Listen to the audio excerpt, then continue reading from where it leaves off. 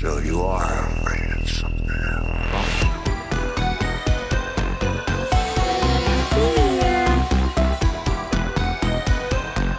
We all go a little mad sometimes. You don't know what death is.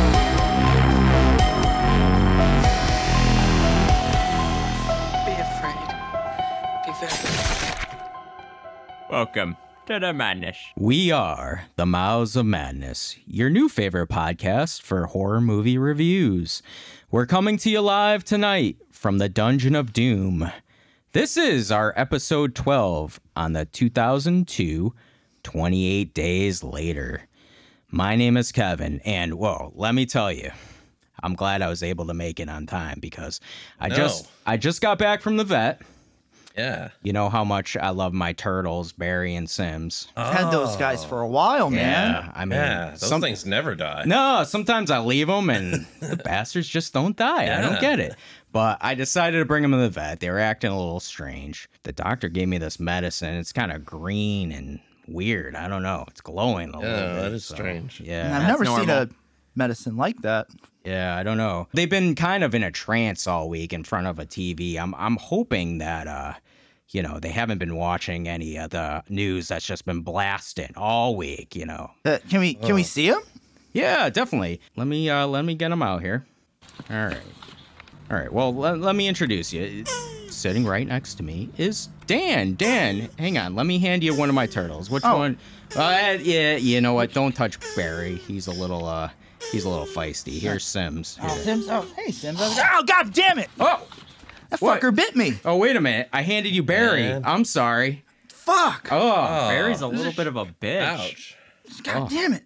oh Yeah, man. that was hang on. business, Hang on. Hang on. Let me grab a Fucking couple. hurts. Yeah. Hang on. You're bleeding here. Let me grab a band-aid for you. Jeez. All right.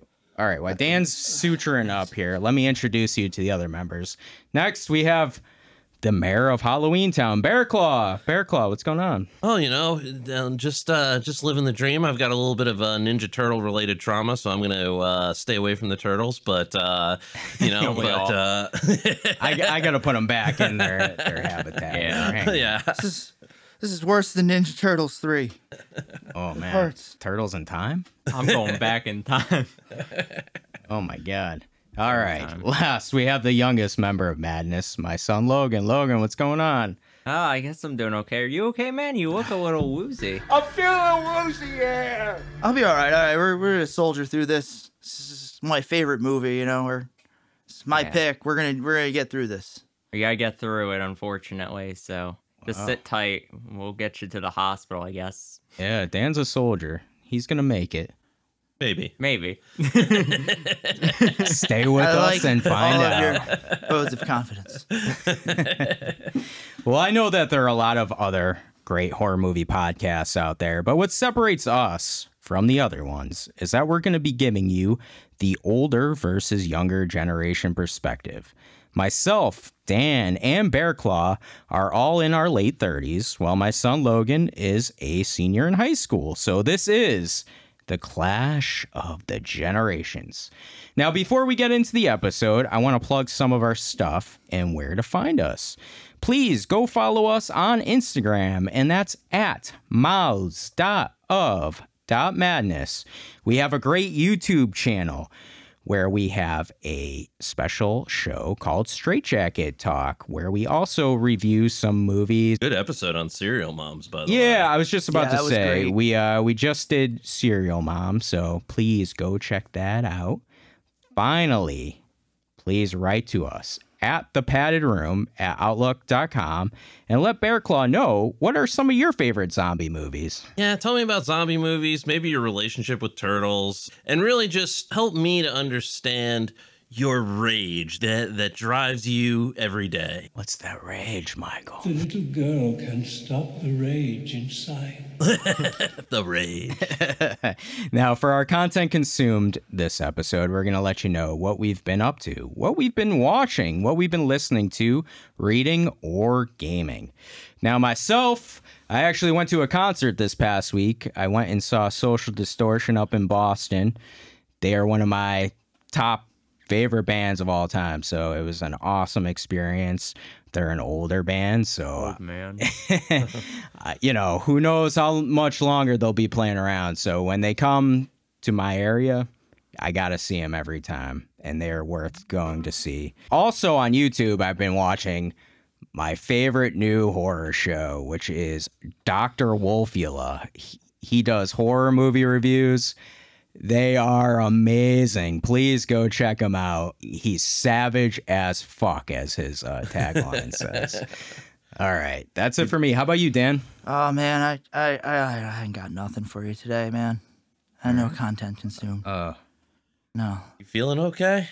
just a little, a little flushed, but That Bear Bear Claw. Why, why don't you tell the folks what, what you've been getting into? So I have actually been replaying Resident Evil Village with the new DLC. Absolutely fantastic game. I'm playing it on PS5. Probably the best horror game out there, I would say. Oh. Uh, it's the newest one, and you know, the, the there's new DLC out that adds because when you originally play the game, it's all first person mode, but this actually adds a third person mode, which is really cool. So it's almost like playing Resident Evil 4 and just a fantastic shooter. A lot of horror themes in there, everything from zombies to killer dolls. That runs the gamut as you walk through this haunted, distorted village. And of course, Lady Dimitrescu, the uh, giant vampire lady that stole the internet's heart there for a little bit. uh, all uh, well worth playing, and I'm happy to be revisiting that game and capping some zombies in the tradition of this movie. So, with that, I'll uh, turn it over to Logan.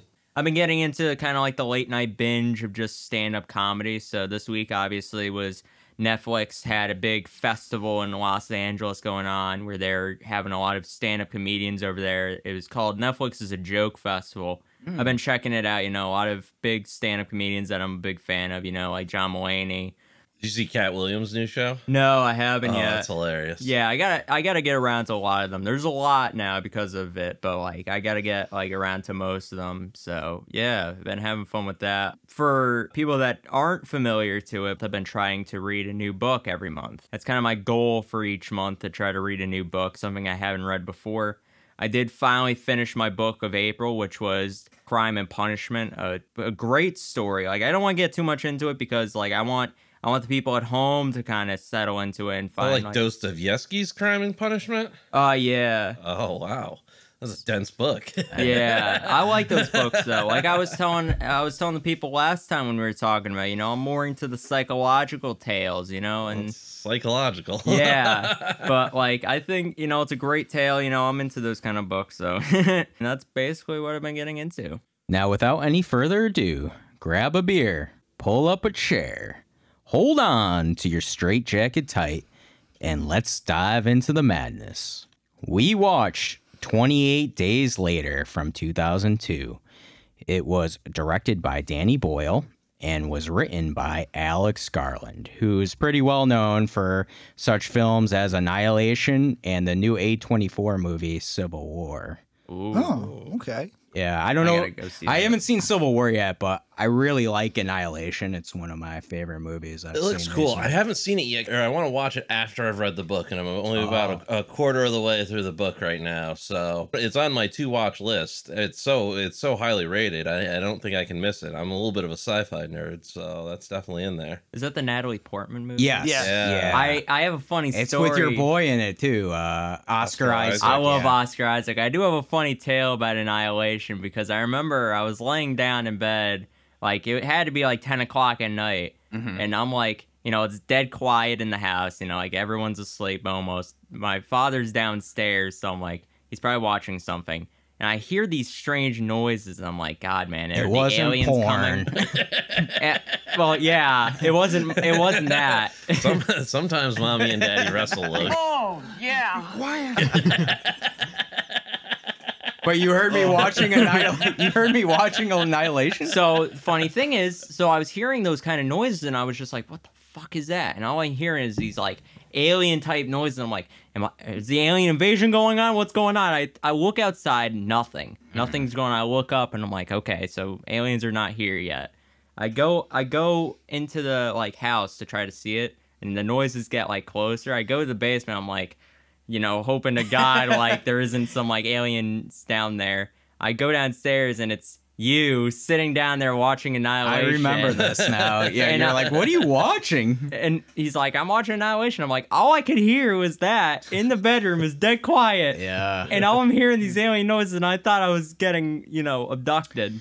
I know on our last episode we kind of talked about horror movies and and our relationship and I said, you know, really horror doesn't scare me. What kind of does frighten me though is alien stuff. Yeah. Oh hell yeah! you know, and and this movie Annihilation does do alien stuff and they do it in a fucked up like in your mind Yeah. sort of way.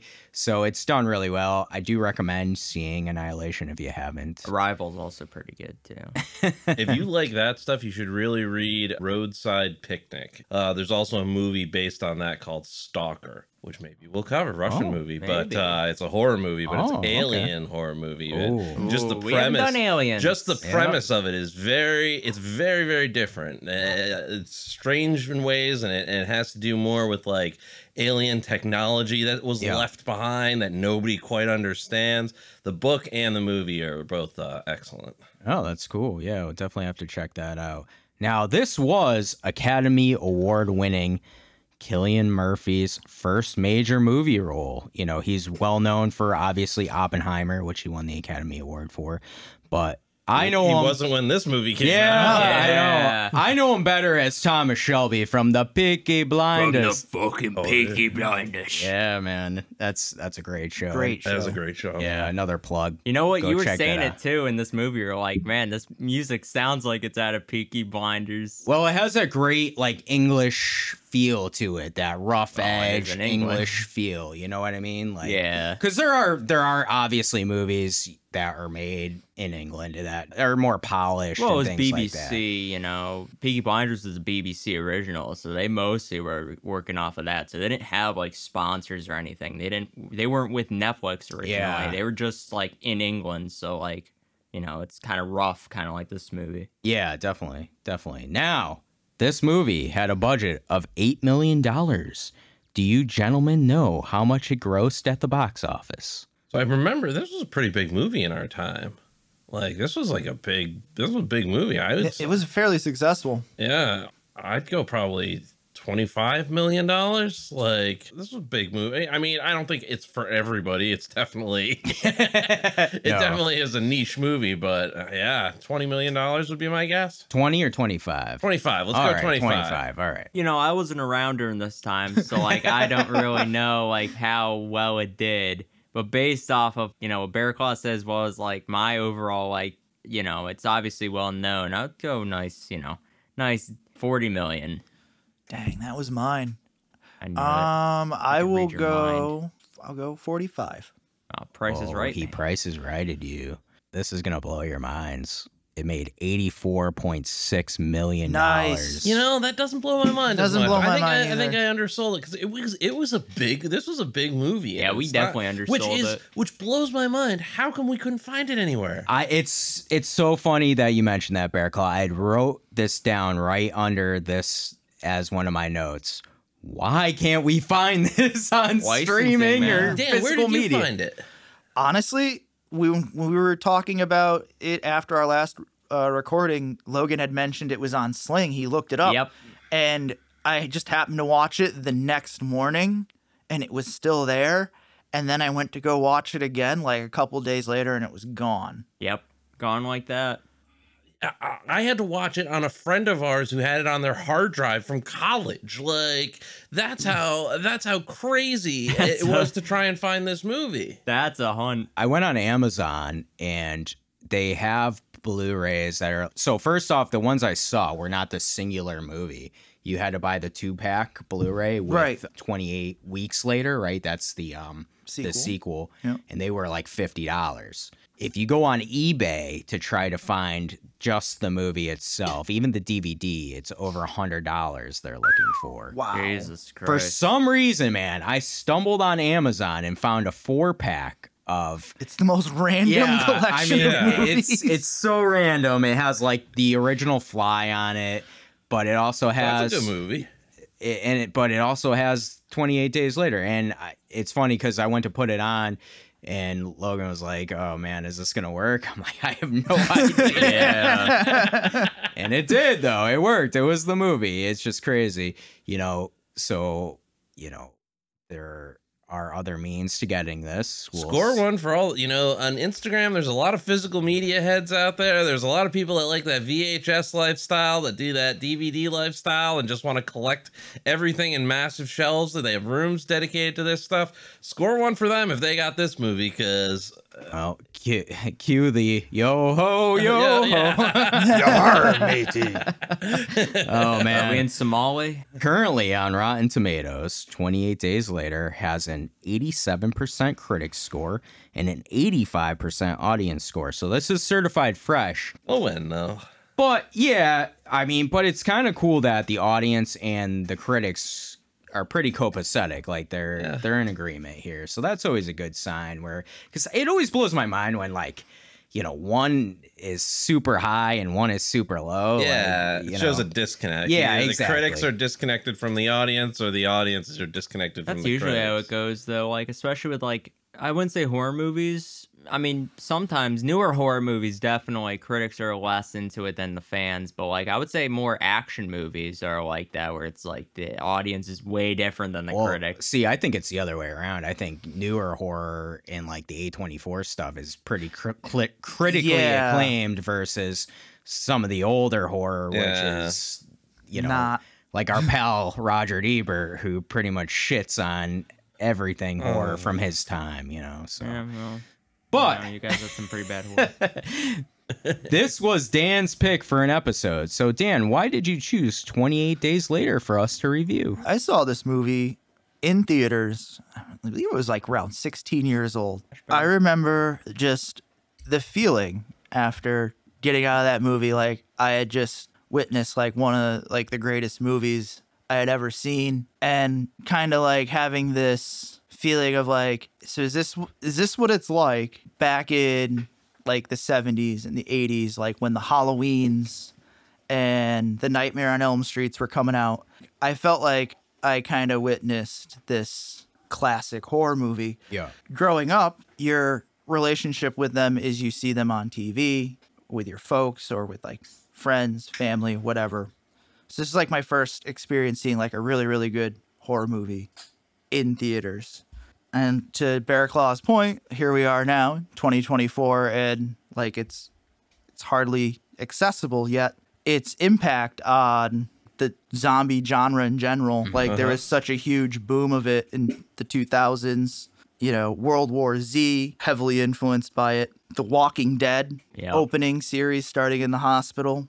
That's 28 days later. I mean, just the running zombie thing.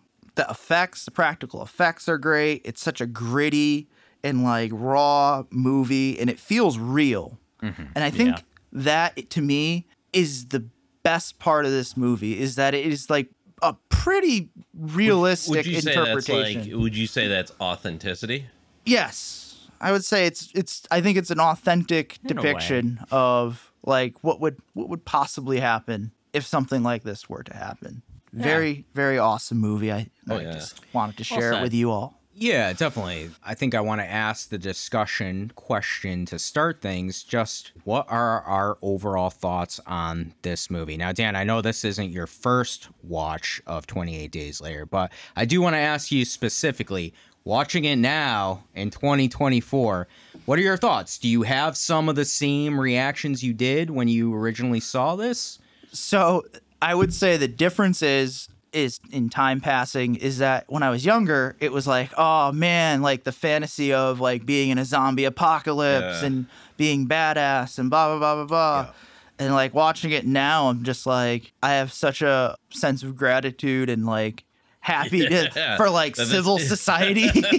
Well, we went without it for a couple of years there during COVID, so you know it's one of those things. This movie hits a little different nowadays. Yeah. yeah. What was so- the what was the most frequent epidemic since uh, before then? The Black Plague. It's funny because I, w- I was looking Spanish flu. At that's true. reviews of this movie and you know different documentaries Uh-huh. behind the scenes and this one i stumbled across on youtube it was like and this happened right after the movie this documentary took place and they kept talking about epidemics and you know like how this could be based on what could happen in our world. And Yeah. wouldn't you wouldn't you know Ugh. that it did happen, you know? Well, Well- Ebola also happened too. around Well, that same- Ebola happened around this time. There was the uh, foot and mouth disease, the uh, the dairy foot and mouth.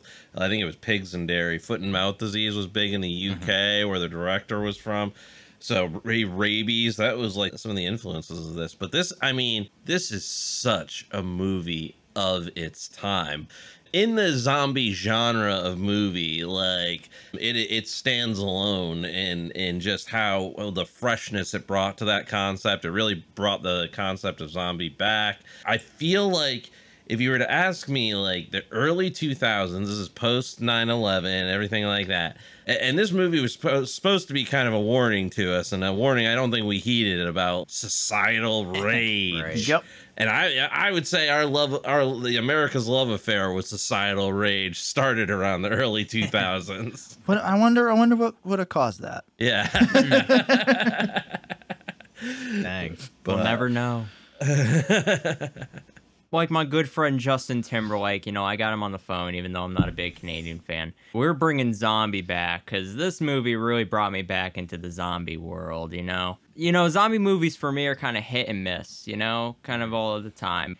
You know, this is my first watch. So I really haven't seen this before. You know, there are a lot of movies in this kind of podcast is kind of enlightened to me, you know, because like I haven't watched a lot of horror movies. So like for this, it was kind of a first watch through, but I really enjoyed how like it made me feel, even though you know I was definitely like Jesus, I I have to watch something happy after this because I'm like I'm totally It is depressed depressing now. at times. i mean the ending's At not times. bad though Uh, I will get into it. I just think like you know, there's a lot of stuff in this movie that kind of is just so well done. The camera work is phenomenal, and I think that's what really put me into it in the first place. Even just like the isolation effect that happens in this movie is just insane. Mm-hmm. It's just insane to see London just so empty. But Well, like, like, we've talked about with our some of our past movie reviews that we've done, kind of the isolation factor in horror is scary concept, right? Yeah. I mean, I mean, uh, horror in general, I think, you know, we haven't really had a lot of kind of movies like that in a way, like Isolation, I think. Like, we haven't got into, like, all those kind of movies. Oh, man, when they do isolation in horror movies, it is fascinating to watch, especially the actor that's isolated. Like, when they are just in this pit of despair, it's just, like, insane. Like, the eye, like, you gotta track the eyes how they react like him going insane like in those first couple minutes because he's just like what is going on he's like totally like shock you know like he, he doesn't like go into it too much because like he's still trying to figure things out but like you can tell he's definitely like what the fuck is going on here Well, I think he's pretty confused. He was uh he was in a coma. Yeah. this. Could, So could you just imagine waking up in a hospital? It's completely isolated, and you're just butt ass fucking naked, just in a gurney with wires hooked up to you.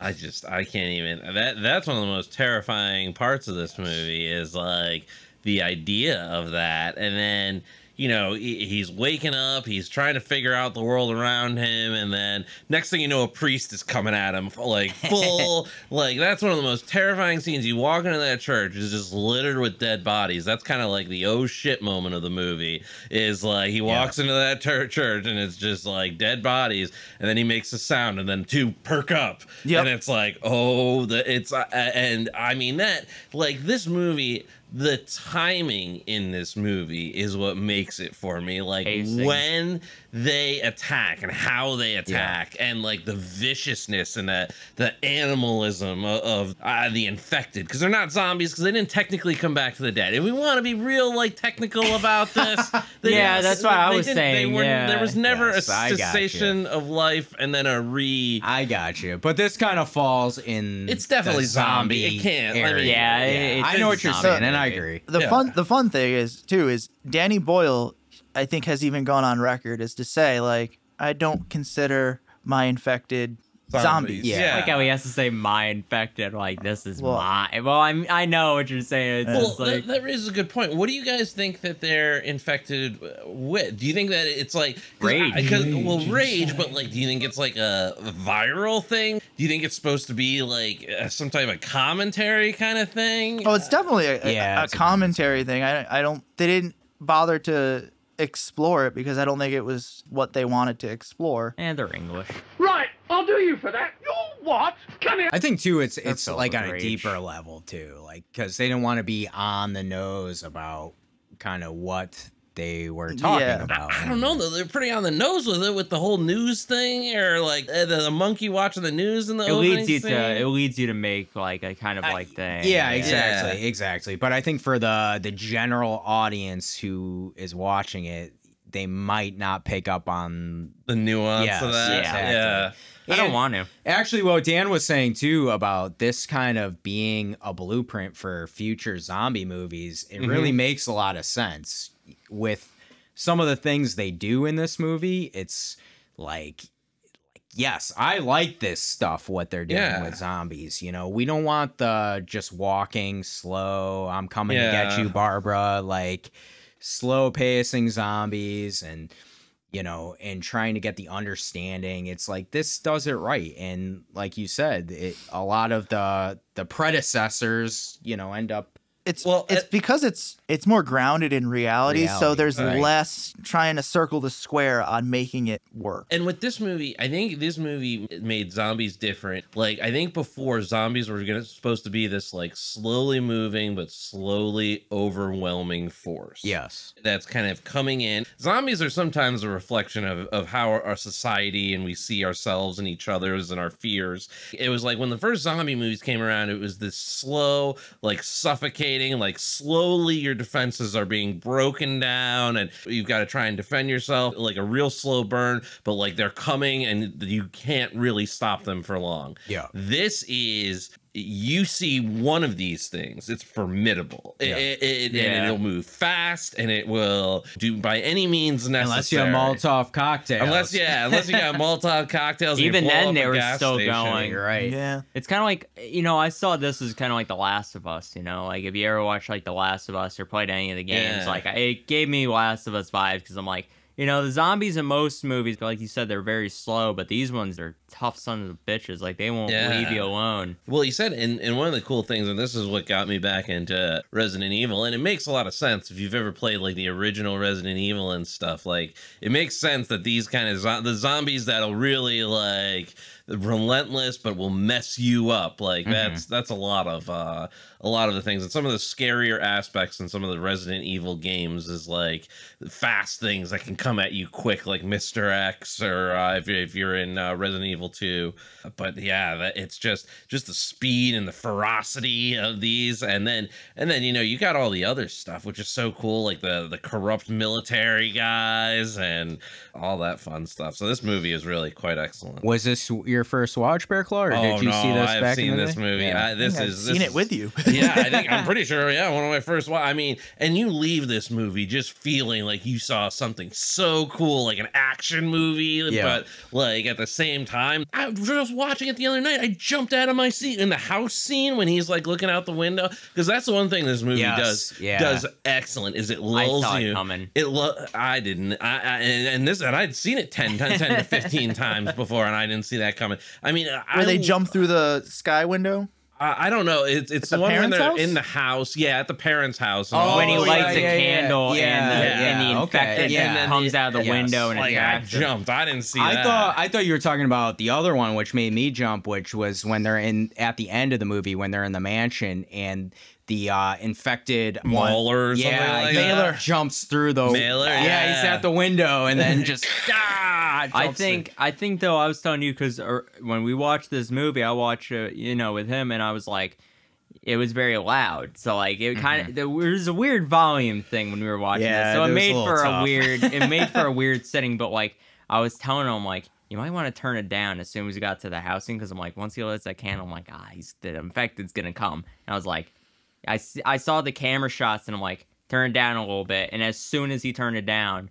the infected came, I'm like, yeah, I could I could see that coming a mile away because I'm like, I knew it was gonna happen because it was just a matter of time. I got to be honest with you. Usually, I'm not a huge, uh, and again, this is the gray area, but I'm not a huge zombie movie fan. I really am not. Like it's, it's one of the subgenres of horror that I really don't go out of my way to watch.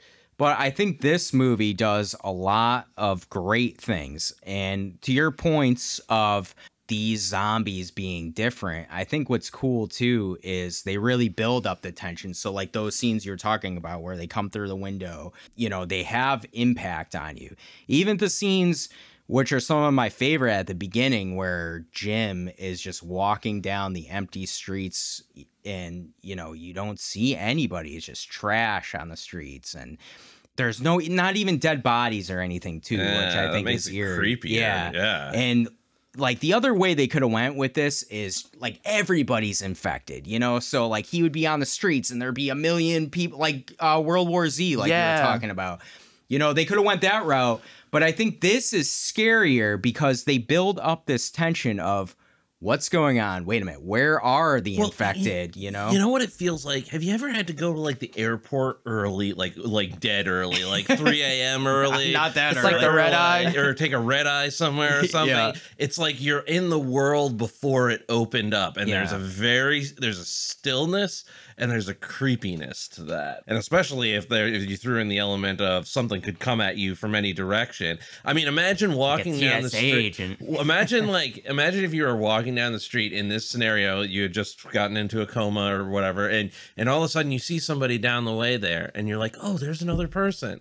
Mm-hmm. Then they're coming at you at speed. Yeah. Like how like how crazy terrifying is that in like an empty cityscape? Like they're coming at you, but it's clear that they're coming at you with But I carry a bat. I, lo- I love those scenes when they're in the tunnel when they get stuck in the tunnel. yeah, the tunnel is my I was Oh on the God. edge of my seat when they're trying to change that flat Hannah tire. was Oh, pissing me off. Get it done. Get it done. But I love, you know, first off, the rats come flying in Oh, Yeah. because animals know, man. They just oh, know. Oh yeah, why do rats leave a sinking ship? You Well, know? like leading up to that, of course, you're like, this is not a good idea, and they're and they get stuck in there, and your mind is playing tricks with you because you're looking for where's the infected, where are they, you know? So then when you see them coming through the the tunnel at rapid pace, it's fucking scary. Oh, it's terrifying. you know and they don't overdo the zombie again zombies in this movie. Yeah. Like, they don't overdo it. They make the best usage for it. So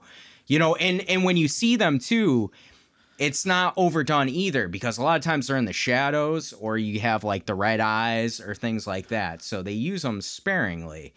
So i i really love that part. Fun fun fact about the zombies and all the extras that played them, they did not get paid because the budget was so low. oh yikes Yeah, well, the budget was Screw only you. like eight million for Yeah, this, and, and they did super a lot with eight million dollars. yeah like- so cocktail. let's talk about some of those aspects from the budget. So first off, I think Logan had said how he loved how this was shot. This was shot on digital, old cameras, yeah, right? handheld. Old for their time. Now, there's two ways of looking at this, right? Because it is a very gritty feel and it's it's kind of a cool thing too. Got to admit like how it was shot. One of the benefits though is they were able to close off those main roads for a short amount of time. And when you have these more handheld digital cameras, you don't need a lot of time to plan your shots. So it was definitely a benefit for for this movie, which was cool. Uh, a cool thing I had read too is you remember that boss that was flipped over on its side? Yes. They did that and put it back up and out of the way in 20 minutes. Total. How fucking That's crazy awesome. is that? I can't like oh That's pretty wild. Yeah, so I mean, it was shot. I, I think my only gripe with how it was shot is I really like it. I think it adds some grittiness to it. I don't know if I would have wanted the whole movie done that way though, because at times for me, this is just my opinion, it gets a little too much. I think, uh huh. especially now. I was reading that's one of the problems with Blu-rays and things like that, and trying to remaster. They don't this. hold up. The quality doesn't hold up on the newer TVs. Yeah. Yeah, well, I was watching that Red Letter Media, and they were talking about Star Trek. They love. I don't like Star Trek that much, but they really like Star Whoa. Trek. And they were talking about how on the Dang it, the Blu-rays, everything you you could see all like they used to have to put like black pieces of paper taped on the back so it wouldn't reflect the camera le- but like the blu-rays show where i'm going with this is you see things in the new blu-ray editions of things that were never really meant to be seen when Yeah. some of this stuff was originally taped so it's just kind of it's kind of crazy Th- This actually leads into a really kind of cool part of this movie. So, with the budget and the filming, how it was done, they actually didn't shoot the closing sequence. And so, if you watch the closing shots in, Uh-huh. in this movie, they were actually filmed on real film. oh So it does look different, which I actually think is a cool aesthetic because it almost presents like this hope and It, it Yeah, was like it was a creative decision to do it that Yeah. way too. I was reading as well. It was the fact that yeah, they ran out of money, and it's that scene that they they still frame cut scene of them crashing through the gate was where they ran out of money, and then the Fox picked them up Uh-huh. and added funding to their budget, and then they decided to shoot a couple of alternative endings. yeah Yes. yeah And you ended up getting the one you got in the theatrical release, but then there's like two other ones. yeah. So there's a couple other endings. Now, listen to these. Do you guys prefer any of these ones?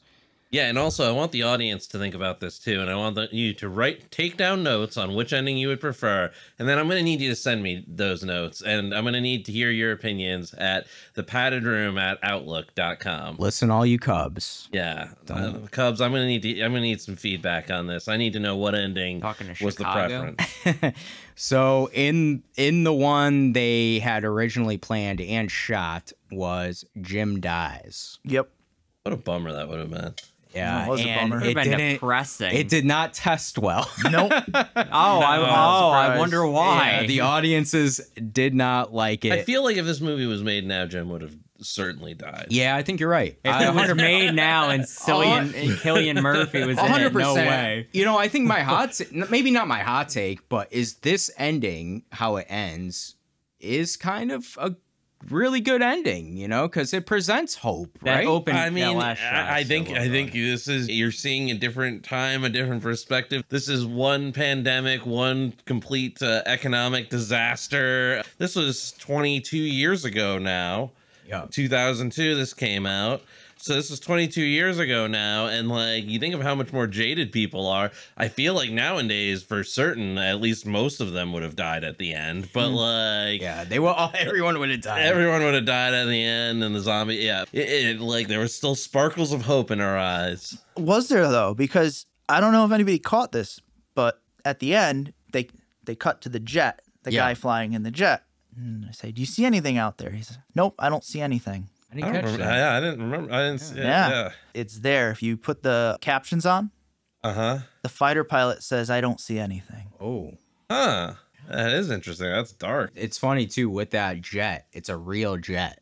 It actually costs them less to use a real jet versus uh, digitally putting it in there. Really? I was Like gonna say that's where the that's where the budget went the. Now, Logan, listen to this other ending for you. How do you like this one? Is it Billy?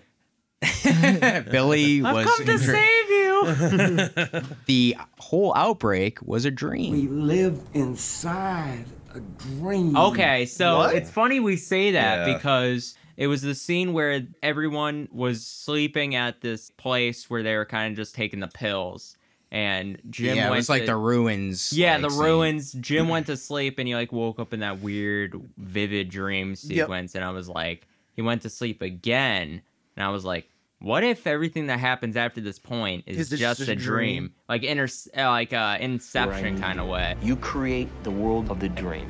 Yeah, I remember we talked about Inception, and we we also talked about it's so hard to pull off this sort of ending Inception did it. because it's like lying to your audience, and your audience Hey, is like, I yeah. just feel like the dream, dreams, Not lying. dream and time travel. Unless you're doing a movie like Inception, dreams and time travel should stay out of any story that you want to have any stakes whatsoever. Because as soon as you mm-hmm. introduce either one of those concepts, my ability to, to give a shit it just goes out the window. Well, it's not about you, Bear Claw. It's about one thing and one thing only what's that? money. I smell money. now, the last one is kind of the most fucked up one, in my opinion. Yeah. Everyone dies. Frank isn't killed. Yeah. He's tied up, and they find this research lab, and they do a transfusion on Jim, and they save Frank.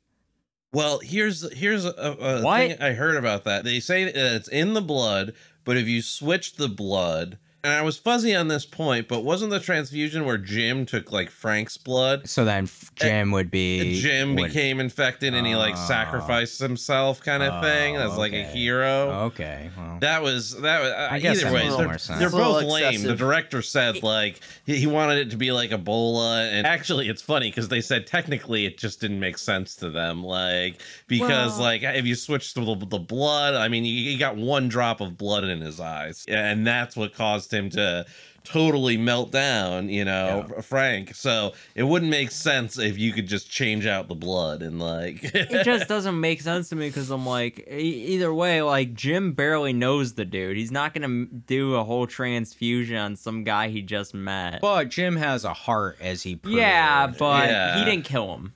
yeah, that's That's true. his. That's his heart. You know, he didn't kill him. That is true. I mean, I- I think that scene with Frank was very heartbreaking. Not not where he got necessarily got the blood in his oh, eye. that was heartbreaking That well, was. that too. was that was, but even the part before, because it was like they had so much hope, and Frank was this beacon of hope, right? And he's yeah, selling it to him his, and his daughter. Yeah, we're like, yeah. This is the plan, and then they get there, and it's like this big letdown, and he has that breakdown.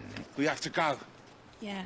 Go fucking where? I, I love that scene in a way because you know it felt real like it felt like how you would really react in that moment but i want to ask you guys what are some of your favorite scenes in this movie dan what do you have for some of your standouts to piggyback off of what you were saying, I love the four protagonists in this movie and just that whole succession of scenes where it's just it's them, the Yeah. four of them, and it's like this surrogate family, this collection of relationships coming together. Like Frank is kind of taking on this like fatherly role to mm-hmm. Selena and to to Jim along with his daughter, mm. and then like Selena and Jim are like big brother and big sister to Hannah, and so like it's like in the midst of all of this chaos, like there's this beautiful relationships happening. And then you get the grocery scene. And it's the desert in the oasis. Mm-hmm. This is Danny Boyle kind of setting you up for what what's about to come in the third act. You're lulled into this like, oh well, like this is a shit situation, but you know, like human beings, you're gonna find some sort of good or wholesomeness out of a situation and it's just them being you know human beings and bonding and connecting with each other and then you get this mirage of safety in this grocery store and then they they have like their last meal. Yep and then Frank gets infected and ends up dying. And it's just like that fucking slap back to reality. Yeah, I agree with you. I think what was cool about those scenes is it's like again back to the hope concept. That Yeah. No matter how bad things are, there is hope that we can have relationships with each other. We can enjoy each other. We can enjoy nature too, because it was like out in nature and there's horses and you know it's like man's one with nature again, and and kind of there is hope for this could work out in the future. yeah and of course there's also Jim's rampage at the end Yes. Like to me, it's like probably the best nine minutes of cinematography. Like Oh, everything fantastic. About it. about it, from the music to how it's shot, like how everything just lines up. Yeah. It's just so it's so satisfying and rewarding because you see like Jim, who's this average Joe guy, get dicked around and just pushed around.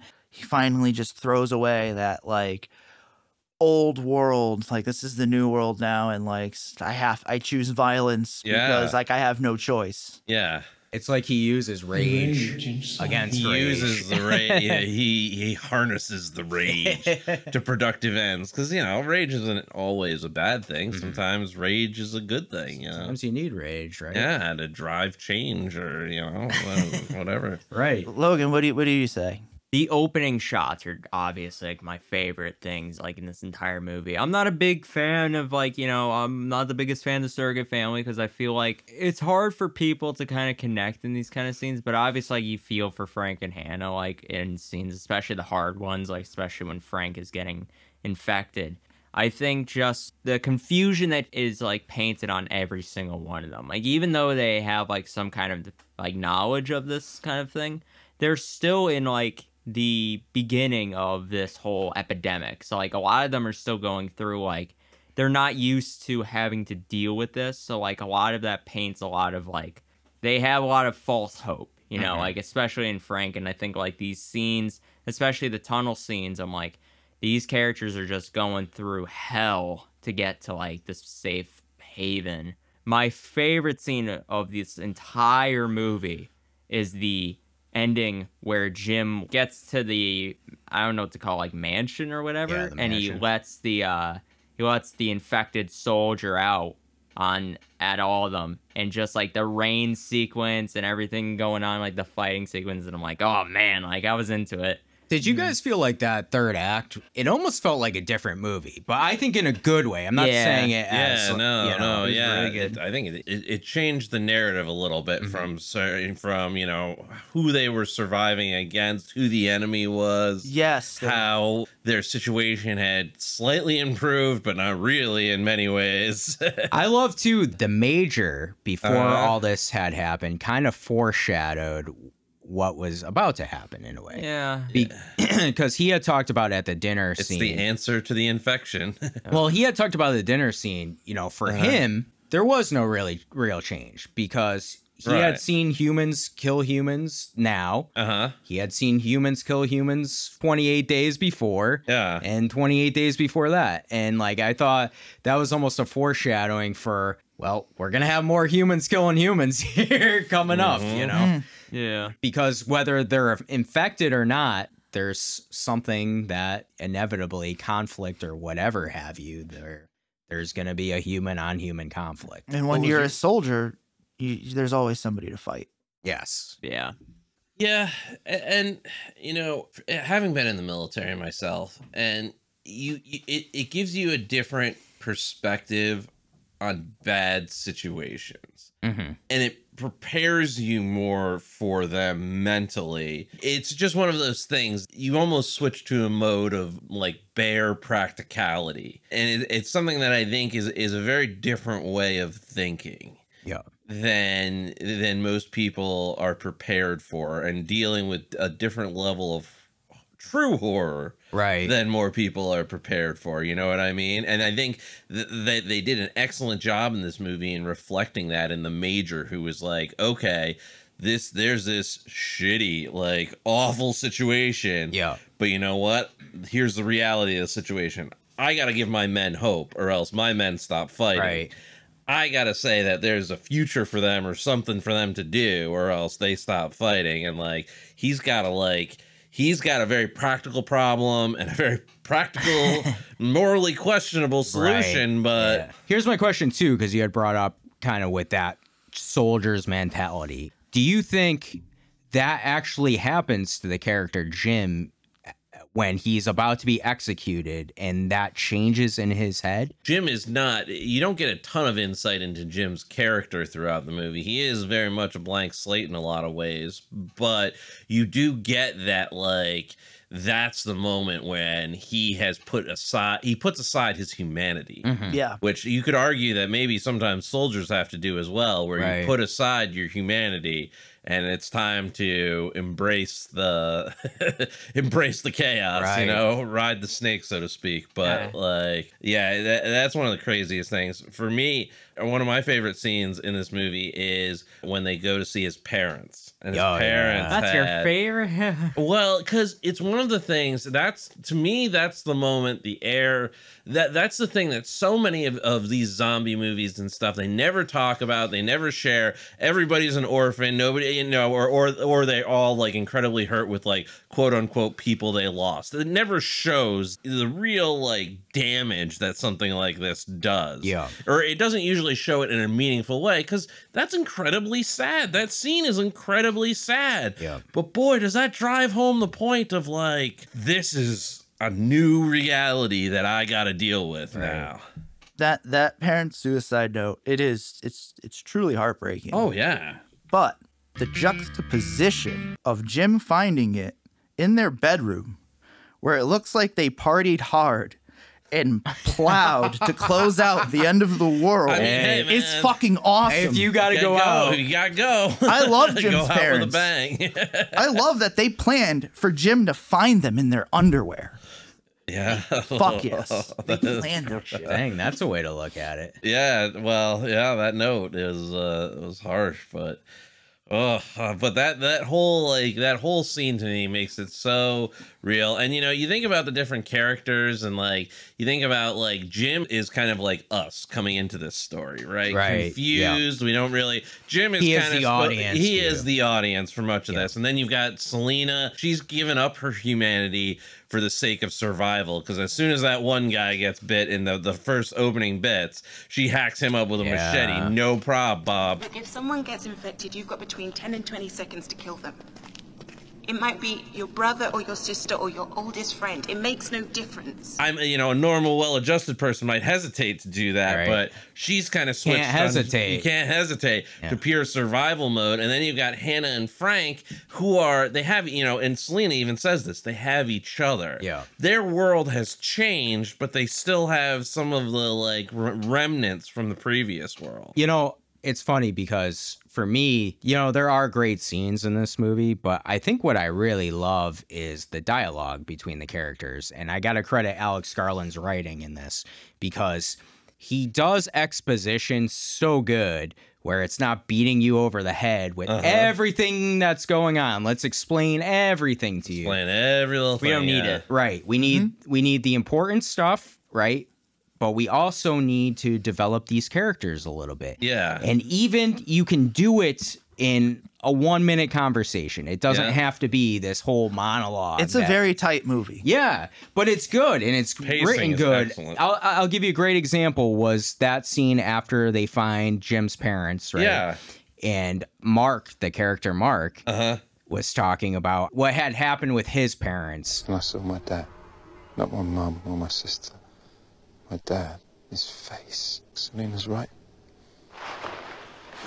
You should be grateful. Yeah. And- oh. I love how the camera's focused on his eyes and you could see the tears behind his eyes. Does that like remind that that whole thing? Did that remind anybody of like?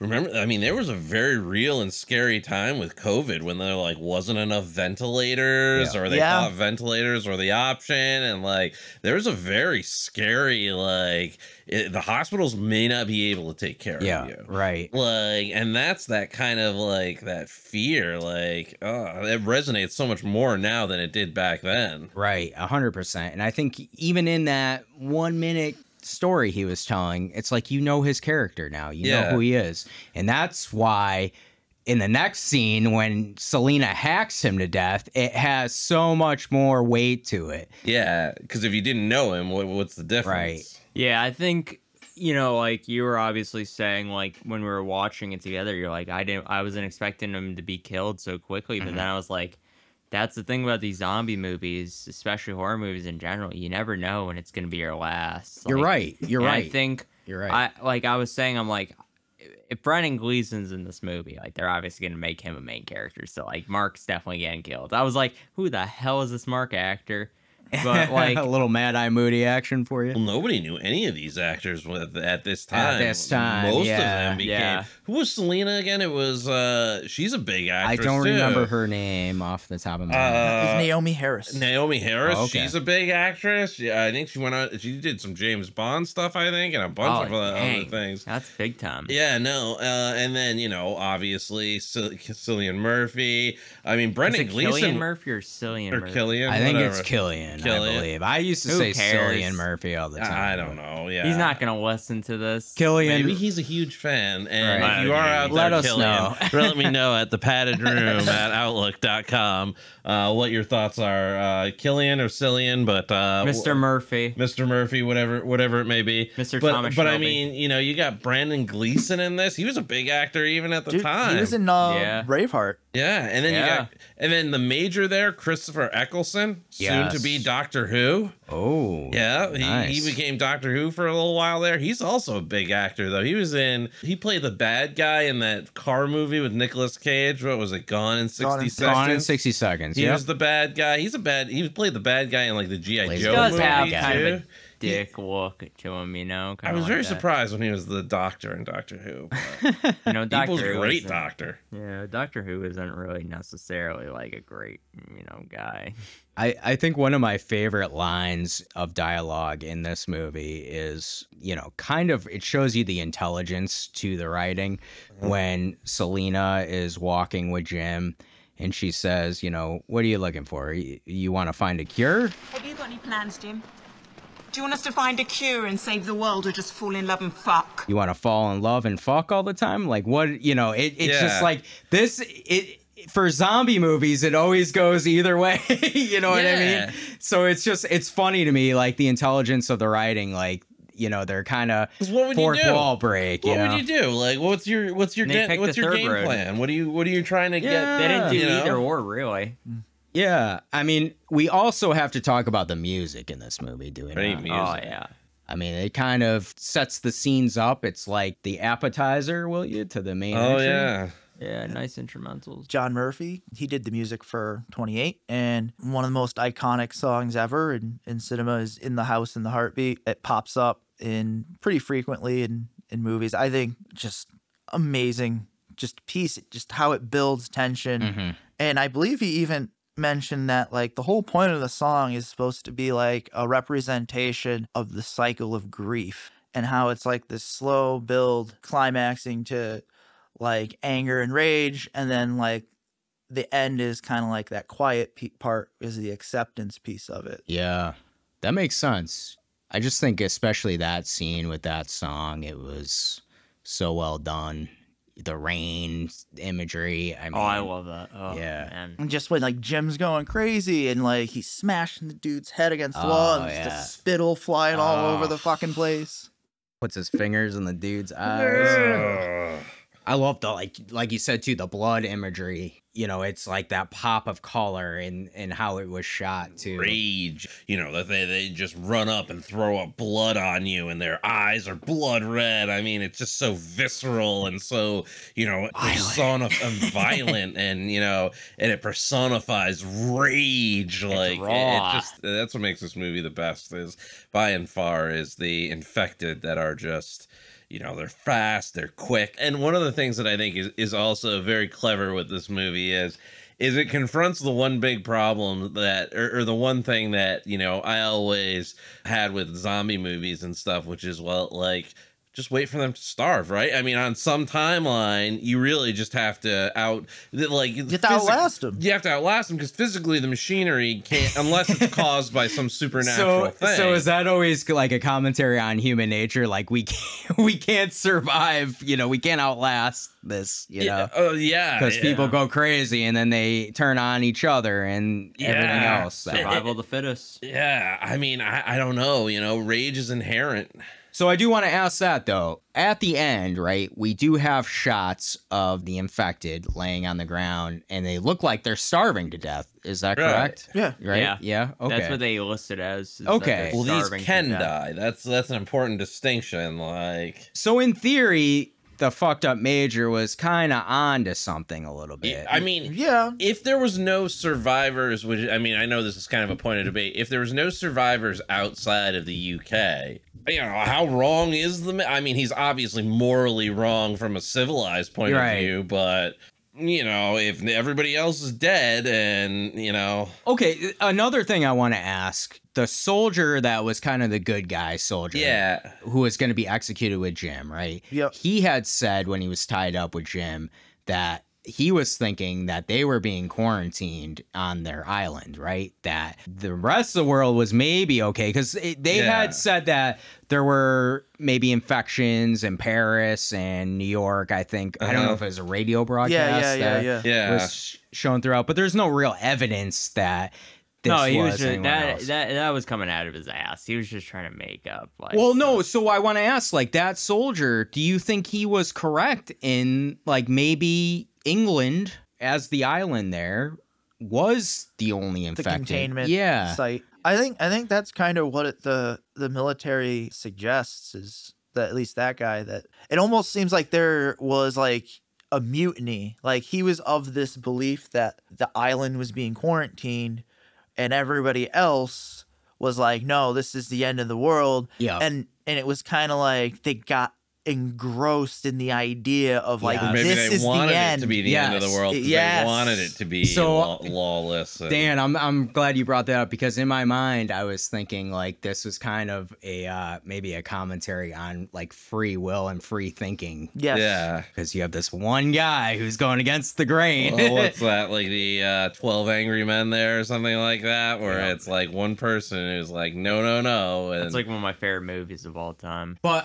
what drove that concept home for me that maybe it is just England that is experiencing this is when Jim is about to be executed and then he looks up He and he sees the does jet. yes. Mhm. And then it was like light bulb. Yeah. And maybe that's where like the real turn happened in him almost, you know? He saw Yeah. that hope. Yes. There was Salvation. Yeah. Yes.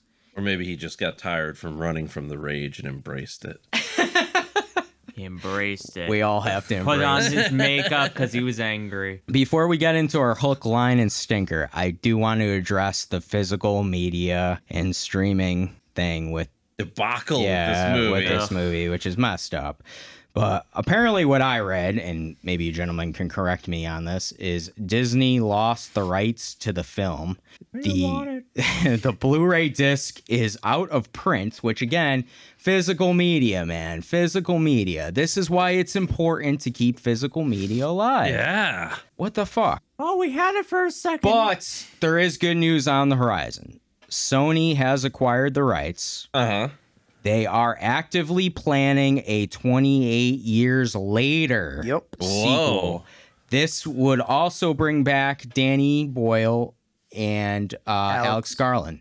And Nice. Cillian Murphy is going to be a uh, producer. Oh, okay. I did hear that. It would be cool if he came back. Yeah. and acted it. I don't think. Co- well, he might not be in it, but yeah. So, I mean, I want to ask: Are you guys excited for a possible sequel, Dan? What do you think? Absolutely. Oh yeah. There's a lot they can do, especially with. I think what they should do is they should make like this is 28 years later, so obviously like, I would still say you know this is kind of like a different virus to what the one we already know, like in this one, the rage virus. This mm-hmm. could be like a new. Ooh, that's This could be a of looking at it. new like virus where it's more powerful. Like they don't starve. Well, I like. I also really like it when people mess with the concept of virus. Like this one is like clearly almost like a psychological virus. Yeah. But there's another. There's a really great horror writer, Junji Ito, and he wrote. And there's actually a movie about this, but it's called Uzumaki, which is actually where there's like a virus of reality. Oh, All of a sudden, people just start seeing like seeing like this circular pattern, and and it just starts appearing everywhere and just in everything, and like in places it shouldn't Just be, and it just slowly takes over like their whole reality. But like, Shit. That's crazy. Just Think about little it. Like a shape, just a shape. just the spiral, a spiral, like um nuts. that, and it just slowly like takes over reality. But it's like a virus has infected reality. How cool is that? I can't even think about that, man, because I, it, yeah, I, it, it fucks with my mind. yeah. Have you guys seen 28 Weeks Later, the so-called sequel to? I've seen it, I've I could it. not remember. I could not Yeah. tell you a single thing about Same it thing, right man. now. Yeah, I'm haven't seen it either, but it seems like what I've read is people are kind of indifferent on it and don't really consider it a true sequel because Danny Boyle only directed the opening, and Mhm. that is it's funny because that is what the movie is mostly lauded for is the opener. Yeah, that's kind of weird to me because I'm like, man, like he got it right with 28, 28 days later. But like, if they do a sequel, they got to do it right. They got to get like, I think they should start fresh with the new cast. They shouldn't bring back characters just for the Oh, sake of it. I think they should start over a little bit. You can have Cillian Murphy because you know it's Cillian Murphy. You got to make some money. Yeah, I just I, I wouldn't I wouldn't even know how you'd bring back these characters. Yeah. Like, Yeah, you're There right. was a comic book series about the 28 days later, what happens afterwards. And Really? Yeah, it's, it's pretty Oh, bad. cool. And they, there's not a lot of happy endings. Jim gets Oh. arrested and Hannah gets adopted by a German family. So, like, they kind of get separated a little bit. Oh, well, so, I don't want to think about that. But we are excited for 28 years later. Yeah. Right? yeah. All right, we're on to our favorite segment hook, line, and stinker.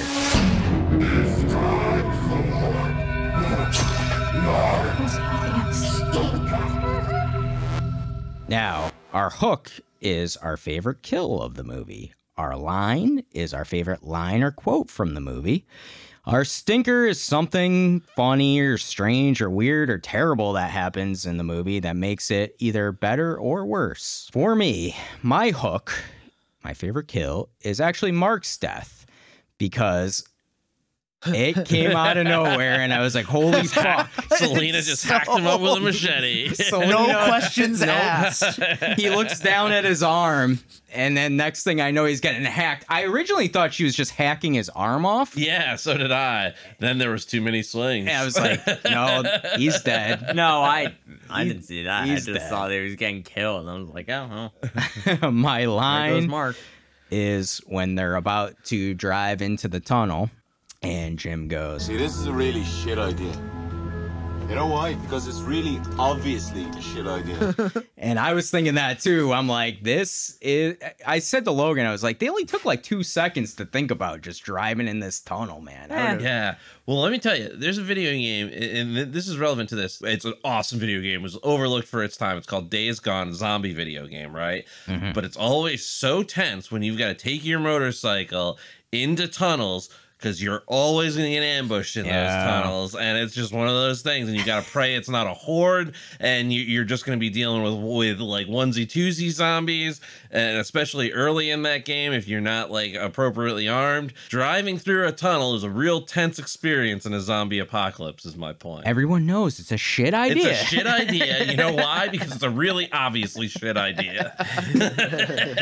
For my stinker on this, I really don't have much. My only real complaint is sometimes how it's shot. You know, sometimes it's a little too much for me, and I do crave that actual film look, you know, but that's just my opinion. Dan, how about you? All right. Well, uh, my hook is the ice squish, as I'm referring to it as. It's uh, Jim at his most unhinged moment. He finally accepts that survival in this environment requires having to be a killer when necessary. Line Hannah, who's high as a kite. They're dead.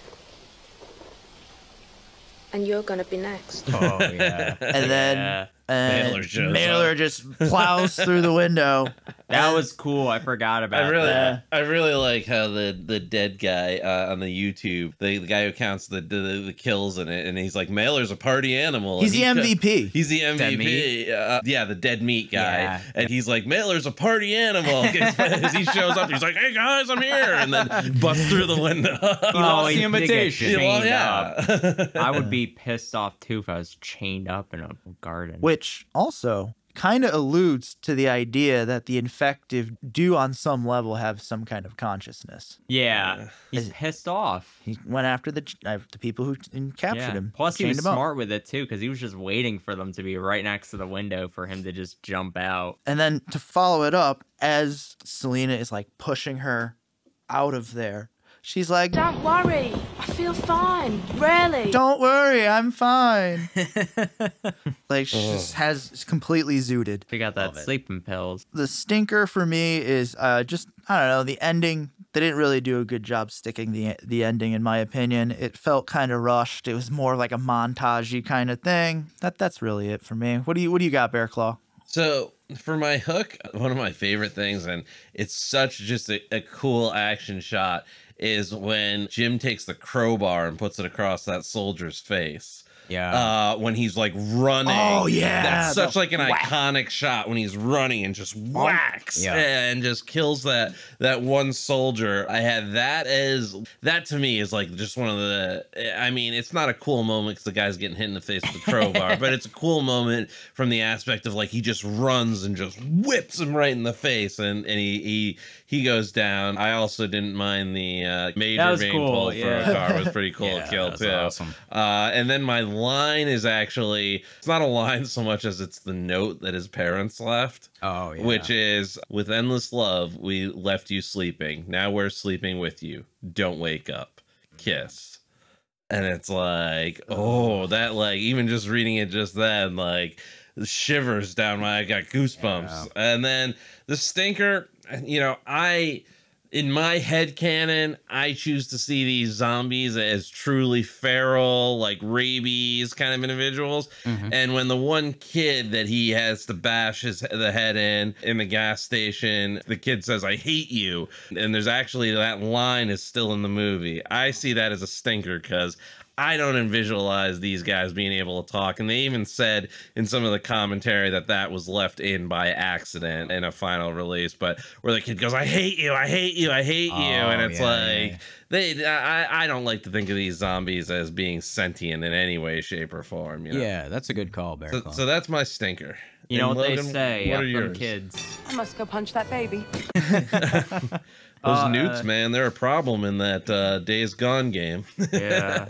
So for my hook, I do have the scene where the soldier's running out of the house and Jim nails him with a gun right to the chest Uh-huh. or right to the one. stomach. It was Yeah. really just well done. I love it. It's the like him running into it and just like the the camera looking right at the face of the soldier. Like it's very well done. I also like the camera looking at Jim too. Yeah. yeah. I do like when he finds him when uh the colonel finds him and like holds his hand as like he Oh, lets yeah, like he yeah. dies like that was just like a very very grim story but like I do like that I that does go into my line one of my favorite lines was You killed all my boys. you killed my boys like when he's at the car and he's got the gun at him Mm-hmm. Yeah. like that was one of my favorite lines because I'm like oh it's so well done because now you're like feeling for the dude who just lost like all of his men even though you know they were trying to rape uh women but uh my other favorite line is there is kind of like a uh, simple kind of like line here. Jim says to Selena, I got a headache. Selena,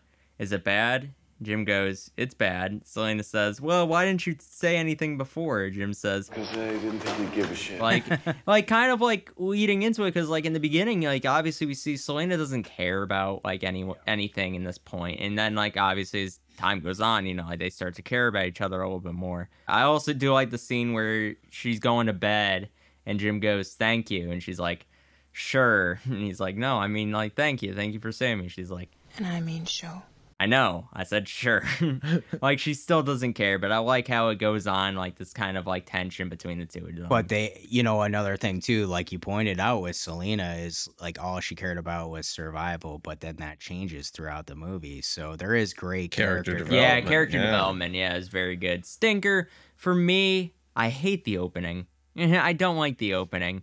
I don't think it was needed. You don't want the to see chimpanzees. Cillian Murphy's uh No, no, no, no, no, not No. that. The, Oh, I'm the talking about the chimpanzees. Oh, the chimpanzees. chimpanzees. Yeah. That that was that was hard to watch. I don't like see all the apes in the fun like prisons, and I was just like, oh god, that was really Not really, really. set the tone for you, huh? Yeah, like that was like Jesus Christ. Like I, I My was like, sympathies for chimpanzees has been much less since one ripped that lady's face off. That, that was in Connecticut. Yeah, I know, Yeah, that happened in our state. Ugh.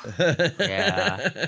hey, look, that's because of their wild animals. oh yeah. You shouldn't have those as pets. We learned that Maybe humans are wild King. animals too, Logan. Maybe that's what this Well, we're not. We're not pets. are we pets?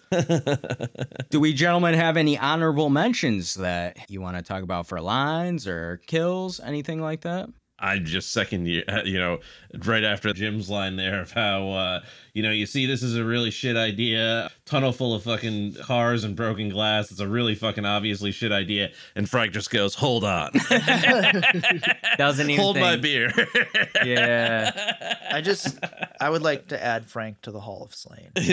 Yeah. You would fit in. I Frank think. was Frank a boy. good. He had that riot gear. He was ready to tango with those uh, infected. Oh yeah, the riot gear was a cool scene. I can picture Why didn't Frank. the riot gear come out? And he, he should have brought the riot gear would have with brought him. that with me. I feel like that's. The... I can picture Frank and Hollis slamming a couple beers. Oh, Driving yeah. that baller car. that- Him and Oh, Billy. yeah. the cab there. I think I think to add to my honorable mentions for stinkers, I was like, man, you know what? I gotta agree with Dan. The ending was also pretty bad. I did like the scene where Cillian Murphy, you know, was like the smile on his face because we haven't seen a smile on his face this entire movie, but just like the ending where it goes from like this terrible tale to like him finally being happy at the end. Like that was okay, but like other than that, it was very quick, and I just felt like it was like. That's the ending. That's well, it? you didn't see the rest of it. Then he looks down and takes out his pocket watch, Yeah. and then it's like Peaky Blinders music. Oh, it's like I was like, It's his, what's origin, it's his origin story. Red, right, red right hand starts playing. Yeah. Uh, Tommy, where you been? There's spurt going on. We're even like when we went to that mansion. I was like, that's just Thomas Shelby's house. It did look like Thomas Shelby's house, that mansion. I was like, all the Peaky fucking blinders. well, we're on to our final rating. They're gonna rate the movie. What will they rate the movie? The killer is great, the victim sucks, the survivor is in between. What was that? Dan, you feeling okay there? Uh, it's been a little. that cut's not looking so good, my I dude. was thinking that. That is that is looking quite uh, aggressively bad. I feel like I'm nauseous, man. Oh man. Oh well, we better move on with this. Yeah. So for our, our, our final rating Hurry up, system, man. There you go. our final rating system is Killer, which the movie was awesome. It's a must watch and it has high rewatchability. Survivor is our middle tier. It means it was okay. We might recommend this and some rewatchability. Victim is the dreaded victim. We were all the victim in watching this. We wouldn't recommend it, and it has no rewatchability. For me, I'm going to give this movie a strong survivor. What? Yeah, I'm not going to give it a killer. Oh. And for me, it's kind of a personal thing because again, like zombie, I know, I know it. No, it's not zombie movie, but these genre of movies just don't do it for me. But I must admit, this one might be my favorite zombie movie. So I'm going to give it a strong survivor. I do think this has a lot of good scenes in it, a lot of heartfelt scenes, which I love. You know, the dialogue, like I mentioned, is amazing. The third act, which I think is awesome, and like I said, almost feels like a different movie in itself. And like we talked about too, this kind of set the standard for what zombie movies would become and the things I really actually like in Yeah. some zombie movies. So, strong survivor. How about you, Dan? Jesus. Oh no. Oh God. Uh, I'm. Dude, there's blood coming out. Yeah, man. I mean, I, are you okay, man? You got blood coming Should out. probably take him to the hospital. I'm gonna give this one a killer. Um, the infected are terrifying. Uh, I, I love the characters. I love the graininess of the picture. The music's amazing. The infected, in my opinion, are are not zombies, but were a major influence on the depiction of zombies in the film. In the 21st century, moving away from the slow moving ghoulish depictions You you do not look well. You need to calm This down. de- man. is definitely in my top five favorite horror movies and uh, modern day. fantastic. Oh. Oh. I, I highly recommend this one There's with the blood on the lights table. out. Oh, We just had Bear this off. refurbished. Bear Uh, yeah, yeah, so I, I, you know, this is all killer, all killer, no filler for me, man. Uh, this is a fantastic movie. I've got to get out of here soon, though, uh, so I can't be here for this. I, got- I gotta, Logan, what do you say? Ah. I want killer no filler on a shirt. new shirt at TeePublic. Yeah. Get your Mouths Mouths of Madness merch there. Holla at my homeboy. Thank you, uh, thank you, Dan. I'm out of here. Uh, for me, this is a Survivor. I think. Sorry, sorry, Dan. I'm, I think is it's getting. Survivor. I think for me, what really kills it for me No! is just If there's a zombie apocalypse, I'm feeding Logan to the zombies. we got one right here. but you know, it's a good movie. I just don't think like you know I have to agree. I'm having I'm having Dan having him attack me right now. It's a I wouldn't call it a strong survivor, but I would say like you know this kind of movie is like very good, but like. I'm not a big zombie fan, you know, like I'm never I've never been fascinated with zombie movies, but this is probably one of my favorite zombie movies, so like I gotta I gotta rate it a little bit higher. I'm not calling it a victim. Right. So, some something's going on. Dang. Well, I'm gonna read Nathan, our producer. He rated this movie as well, and he said, "I don't dislike zombies, but I don't get excited for them either. And no, I don't differentiate zombies from infected. Fuck you." but when a zombie That's movie, you, Dan. Taking a stance, I like it. but when a zombie movie is good, it's real good. This movie is one of those and is a killer. I like that there is a surprising amount of heartwarming moments sprinkled into the death and chaos that really grounds the story and makes you root for the characters. Yeah, I think Nathan kind of said Oh a lot yeah. of good things there. We also asked our audience what their thoughts were on 28 Days Later. So let's check our Instagram, and that's at mouths.of.madness. At Modern Monstrous. This is one of my top five favorite movies, and I can't wait. I have it on DVD, but the aspect ratio is made for much older televisions. Yeah, I mean, some of this Yeah. it's uh, tough to watch, which, you know, again, is one of my knocks on it, but, you know, it does kind of create an edgier It's edgy. movie. It's edgy.